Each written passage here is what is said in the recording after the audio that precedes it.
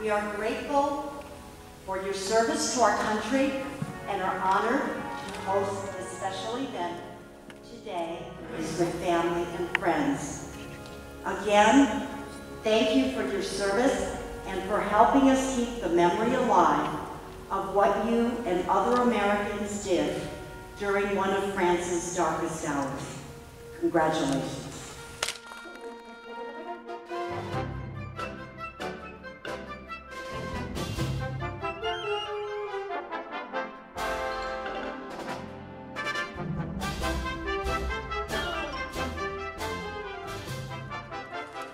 I'm Ed Elmerman, and I'd like to introduce three of my immediate family members. Uh, my oldest son, Thomas Maiden, who's living with me, and uh, Tom, you can stand.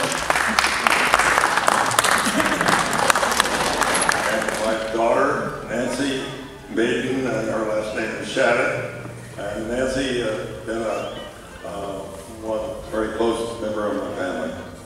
Nancy?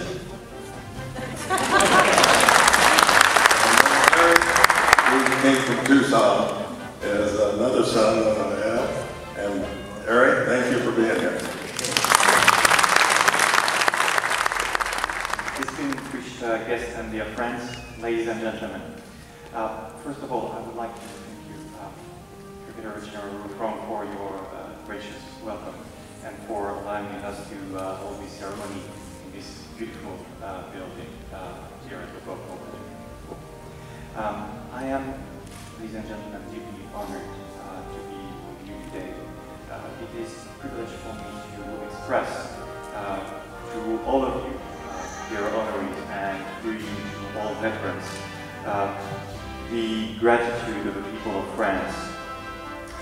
is even more important uh, 2014 because this year will uh, commemorate uh, the 70th anniversary of the landings in France and the liberation of France. So it's really, really important for me to, to be here because today we're here to remember that as very young men, you left your homes, you left your families, and you faced dangers to fight and liberate France, and not only France, but the whole of Europe, and to defend democracy and to prepare for a better future. And without you, uh, we wouldn't be here today. I wouldn't be here. So we remember your accomplishments during the Second World War and how a vibrant reminder of the deep friendship between France and the United Nations. Uh, um, a friendship bound in, in blood and an hardship ever since uh, the War of Independence, as above as recalled. And from Yorktown to uh, Chateau Thierry, from the beaches of Normandy to the mountains of Afghanistan, all countries have been fighting together and they will probably keep on fighting together side by side in this dangerous war. And today we remember this, and we remember what it means. Ladies and gentlemen, we are here to pay tribute to 11 exceptional men, heroes, uh, whose dedication embodies our shared history and values. First, Colonel Albert Rustin. Lieutenant Colonel Elmo dear You were born in Kansas City, Missouri in July 1919, having three sisters and one brother. You attended Kansas University School of Engineering. In 1941, you obtain a private pilot's license, and to pay for your education, you worked with a consolidated aircraft. After Pearl Harbor, you enlisted in the Army Air Corps in 1942. You were sworn in for pilot training in September 1942 at Leavenworth, Kansas. You completed B-24 pilot training in Texas, B-24 combat crew training at Charleston, South Carolina, and B-24 radar training at Langley Air Force Base, Virginia. In early August 1944, the Maiden crew flew new radar B-24s to Europe, joining the 786 Squadron 466 bomb group at Attlebridge, England. From September 1944 to April 1945, we completed 35 combat missions plus two gas haul missions. On a December 27th mission where three engines gave out, you successfully piloted the crash landing in a field outside of Paris. Today you are active in 464 bomb group functions and wings of operations with your comrades. I'm really just spoke about it. It's a weekly gathering of veterans who uh, exchange stories. Um, and most important of all, you transmit this memory, and that's so important that you're all dedicated to the experiences you have to younger generations, so that the memory goes on.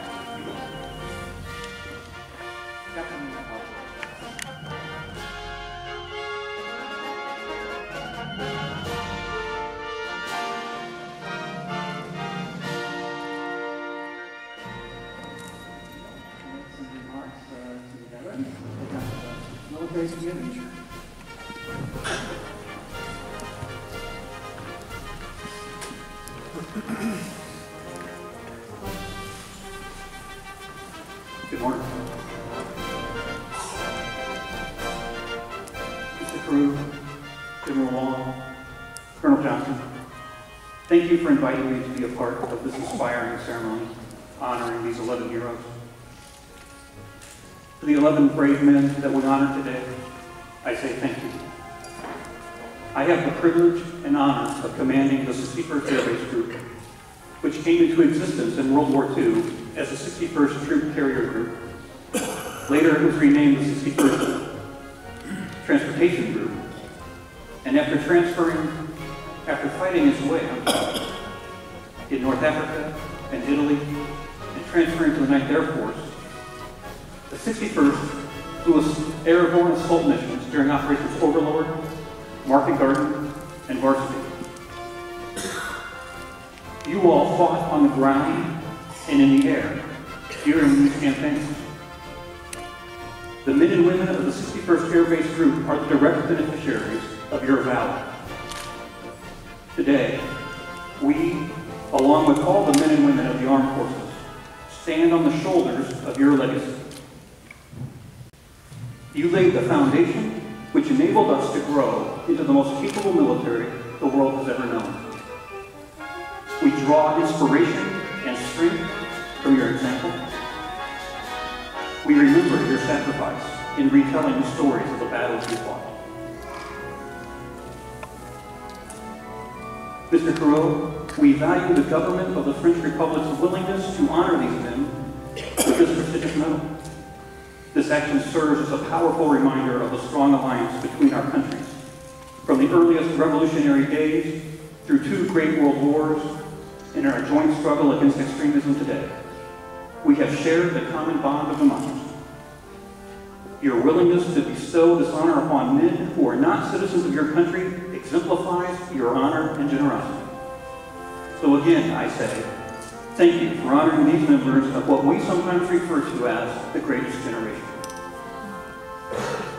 For all of us today, by taking time to honor these men with our presence, we make a small down payment on the debt we owe them and all the members of their generation. Each day we wake up and breathe the air of free democratic nations, we should remember these men and their comrades in arms who helped save the world from tyranny. So again, to the 11 heroes, thank you for what you did on and above the beaches, the hedgerows, the fields, and the valleys of France those many years ago. Thank you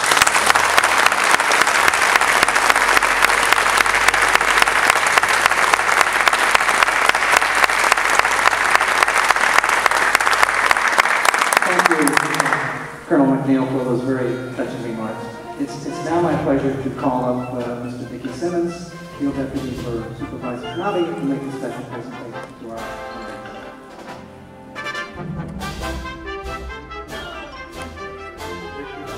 um,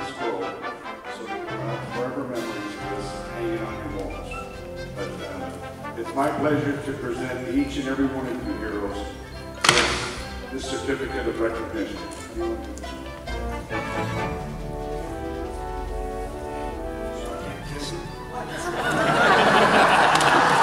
We'll, we'll take a group picture. We'll take a group picture.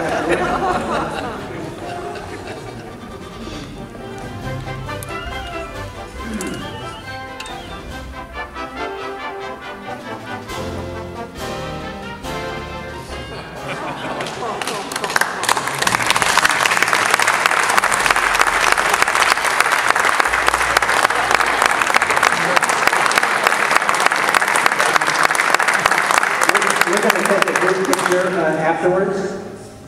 So we, we need to move on. Just present them and we'll move on. Same high school.